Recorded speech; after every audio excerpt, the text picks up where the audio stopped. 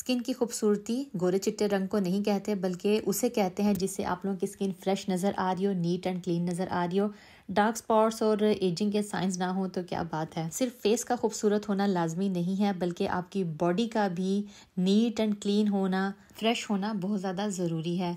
Body की freshness के लिए, उसकी मॉइस्चराइजेशन के लिए हम लोग मुख्तलिफ़ किस्म के साबुन का इस्तेमाल करते हैं। उसके साथ साथ आप लोगों को अपनी बॉडी की वीकली बेसिस पर स्क्रबिंग करनी चाहिए, जो कि इंतहाई ज़रूरी है। इससे हमारी स्किन फ्रेश रहती है स्किन के ऊपर से इम्प्योरिटीज़ ख़त्म होती है स्किन एक्सफोलिएट होती है स्किन क्लिनज होती है और सबसे बढ़कर आपको ताजगी का एहसास होता है। तो आज इसी सिलसिले में आप लोगों के साथ चार मुख्तलिफ़ किस्म के बॉडी स्क्रब शेयर कर रही हूँ। ज़रूर बनाइएगा ट्राई कीजिएगा। पहला बॉडी स्क्रब हम लोग बनाएँगे मुल्तानी मिट्टी के साथ, जो स्किन को क्लिनस करेगा और ब्राइट करेगा। आप लोगों ने ले लेने हैं तीन खाने के चम्मच मुल्तानी मिट्टी के और दो खाने के चम्मच डाल दीजिएगा उसमें एलोवेरा जल के, जो कि मार्केट बेस होनी चाहिए।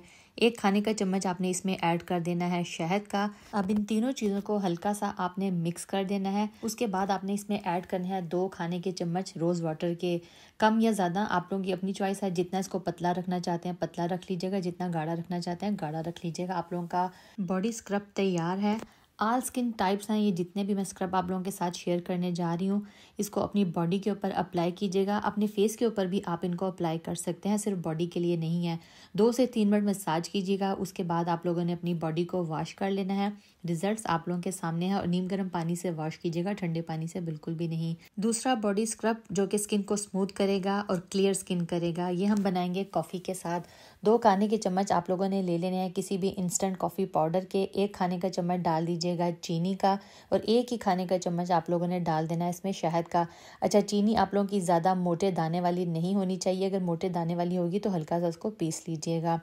तीनों चीज़ों को आपने अच्छे से मिक्स कर देना है। मिक्स करने के बाद आपने यहाँ पर डालनी है दो खाने के चम्मच दही के। दोबारा से इसको मिक्स कीजिएगा। आप लोगों का एक लिक्विडी सा स्क्रब तैयार हो जाएगा। फेस पे लगाएँ बॉडी पे लगाएँ, इंतहाई खूबसूरत रिजल्ट्स देगा। मैल कुचल ख़त्म हो जाएगी स्किन फ्रेश होगी और जो ताजगी का एहसास होगा ना, उसको पूछिए मत आप। बस मज़ा आने वाला है, इतना मुझे पता है। स्किन के ऊपर अप्लाई कीजिएगा, दो से तीन मिनट मसाज कीजिएगा, उसके बाद नीम गर्म पानी से वॉश कर लीजिएगा और आपकी चमचमाती हुई खूबसूरत सी नीट एंड क्लीन स्किन आप लोगों के सामने होगी। तीसरा बॉडी स्क्रब आप लोग फेस के ऊपर ज़रूर अप्लाई कीजिएगा। ये हाइपर पिगमेंटेशन को और सन टैन को भी ख़त्म करता है। आपने क्या करना है?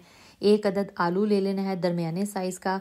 उसको आप लोगों ने इस तरह से छील लेना है। छीलने के बाद आप लोगों ने इसको अच्छे से कश करना है।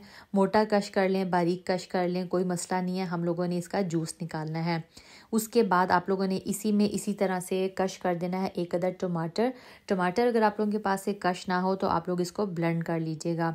इस तरह कश करने के बाद आप लोगों ने दोनों चीज़ों को छान लेना है मतलब जो दोनों का आलू का और टमाटर का पानी जूस होगा, उसको इस तरह से अलग कर लीजिएगा।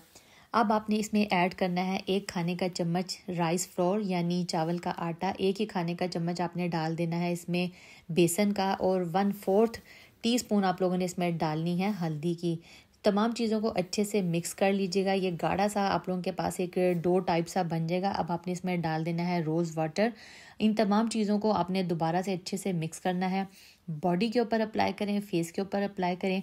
हाइपर पिगमेंटेशन हो या सन टैन हो, ये उसको भी ख़त्म करेगा। अच्छे से अप्लाई करना है, आपने दो से तीन मिनट मसाज करना है और उसके बाद नीम गर्म पानी से आप लोगों ने अपनी बॉडी या फेस वॉश कर लेना है और रिजल्ट्स देखकर आप लोग हैरान रह जाएँगे। आ जाते हैं अपने चौथे स्क्रब की तरफ़। ये स्क्रब बनाएँगे हम लोग ओट्स के साथ। ये स्किन को मॉइस्चराइज करेगा क्लिनस करेगा और स्किन को बहुत अच्छे से एक्सफोलिएट करेगा। ओट्स ले लीजिएगा दो खाने के चम्मच और उसके बाद आप लोगों ने उनको पीस लेना है।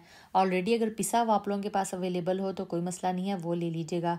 उसका पाउडर बना दीजिएगा और अब आप लोगों ने उसको डाल देना है एक प्याली में। उसके बाद इसमें एक खाने का चम्मच डालिएगा बेसन का, एक खाने का चम्मच ये डाल दीजिएगा कोकोनट ऑयल का और दो खाने के चम्मच आप लोगों ने इसमें ऐड कर देने हैं दही के। तमाम चीज़ों को बहुत प्यार के साथ, आराम के साथ मिक्स कीजिएगा। आप लोगों का बॉडी स्क्रब तैयार है।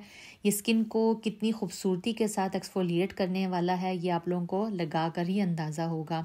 अप्लाई कीजिएगा स्किन के ऊपर, दो से तीन मिनट मसाज कीजिएगा और उसके बाद नीम गर्म पानी से वॉश कर लीजिएगा।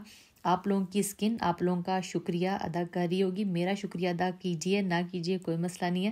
लेकिन आप लोगों की स्किन बहुत खूबसूरत नज़र आएगी। ये थे चार खूबसूरत से बॉडी स्क्रब। ट्राई ज़रूर कीजिएगा, अपना फीडबैक भी दीजिएगा। दुआ में याद रखिएगा, चैनल को सब्सक्राइब करना मत भूलिएगा। खुदा हाफिज़।